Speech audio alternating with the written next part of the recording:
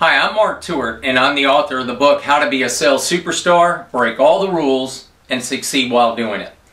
I think the very key part of this book is not just the title of How to Be a Sales Superstar, but it's the subtitle Break All the Rules and Succeed While Doing It. Why? Throughout my total business career of over 30 years, what I have found of evaluating, speaking to, aligning, and becoming a superstar, a key component of that is breaking all the rules. In other words, everybody's life rules do not have to apply to you. They're business rules that don't have to apply to you. Who said that you have to live somebody else's life? I haven't found one superstar that lives by the norms that are taught by everybody else. As a matter of fact, they look at everything and say, why is that so? And does it give me the most chance to succeed? We're, we're traditionally rule breakers in that we're trying to look for a way to do things better. Now, that doesn't mean you have to be arrogant. It doesn't mean you have to disobey every boss you ever have. But you have to always think for yourself. You can't just blindly follow the herd. That's why I'm known as the contrarian. And I want to talk to you about a chapter in this book. It's chapter 13. And it's called How to Get the Sale, the Contract, and the Money. Now you can you can go through everything you want in sales, but unless you can get the sale, the contract, and the money, you're spinning your wheels and wasting time. You're practicing. Unless you get the dollars, you're practicing. And we have all seen that salesperson that can get people to love them. They can prospect. They can bring people in. They can present. They can demonstrate. The people love them. They can't ask for the business. They can't ask confidently. They can't handle an objection. They can't differentiate themselves. And they can't tell the customer no. And yes, I, we, our product is the best fit for you. They don't act confidently. Not arrogantly, but confidently. And does that make a difference? Absolutely. I want to share something with you out of the book.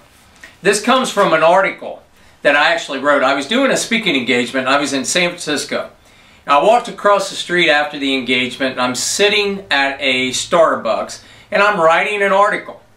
And I'm just blindly looking out the window and there was a gentleman begging for money. He must have been there for an hour.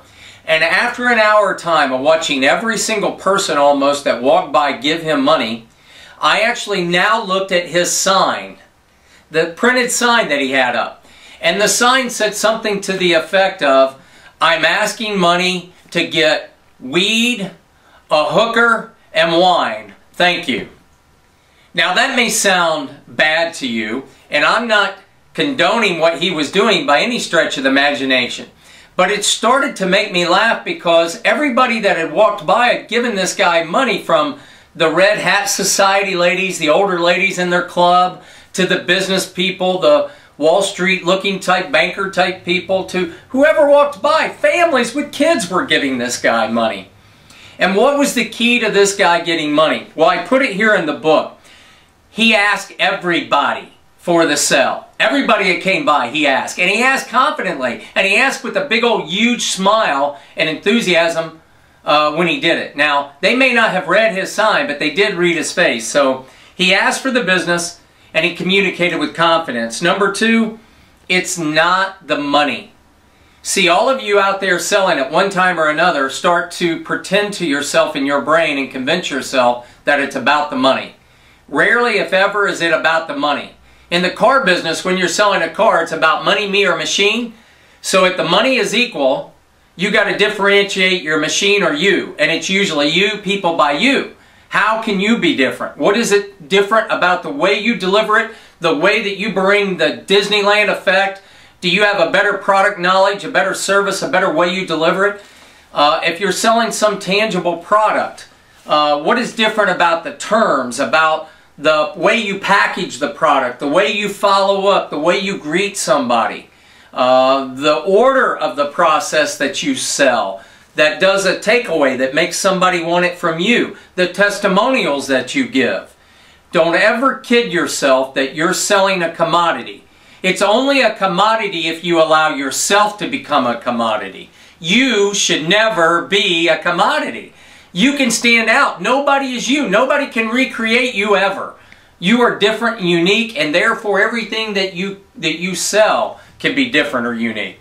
The third thing I put on here is change the process to win. Let me share with you, I have done consulting jobs often. And uh, my assistant Jacqueline can tell you this, that often at the end of my process, I never even have to ask anybody to buy. They're almost always asking me and they're willing to pay me and they don't even know what they're getting ready to pay. The reason being is I change the process. I don't beg. I don't do requests for proposals.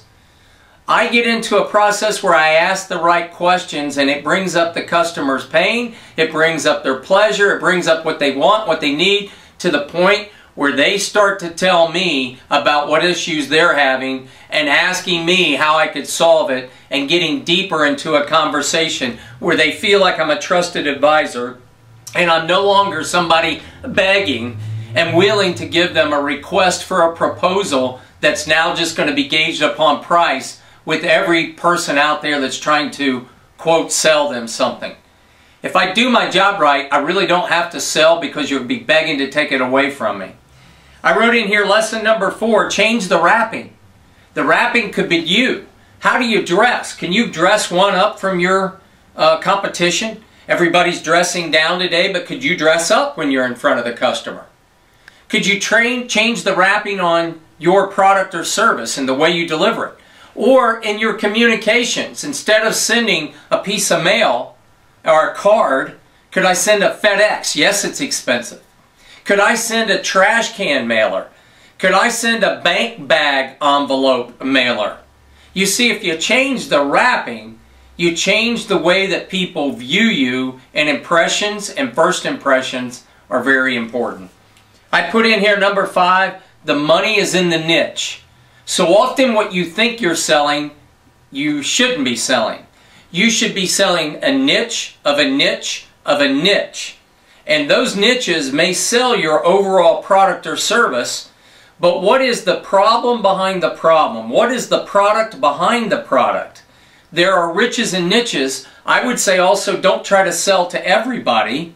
I want you to look for a niche within your industry that you become the go-to known expert that you position yourself as the king of trucks, as the king of foreclosures, as the king of, you get the idea. There are riches and niches. Where can you create your specialization, your value where you don't have to fight on price? People are begging you as an expert. When you're an expert, people don't beg you about price. They pay you. Uh, showing empathy versus uh, sympathy. I want you to empathize with people but not have sympathy. Sympathy is you're crying and believe in every objection they give you. Empathy is you want to help them solve their problems. So there's just some things in this chapter that I think could help anybody instantly. I know could help anybody instantly increase your closing percentage. I mean, do you really know what the five-step process is to handling questions? I go into businesses and I often find when I ask them, show me your step process when somebody asks you a question. Show me your step process when somebody has an objection. Show me your presentation process. They don't have that. How are you going to differentiate yourself versus somebody else if you don't have that? So I take you through all these processes and how to get to yes and how to actually close the sale. Often closing the sale is about opening up the opportunity through you. Once again, my name is Mark Tewart. I wrote the best-selling book, How to Be a Sales Superstar, Break All the Rules, and Succeed While Doing It. I want you to get the first chapter for free. Go to my website. Go to either marktewart.com or tewart.com. That's T-E-W-A-R-T.com or you can call us at 888-2-TEWART. I look forward to talking to you again and good selling.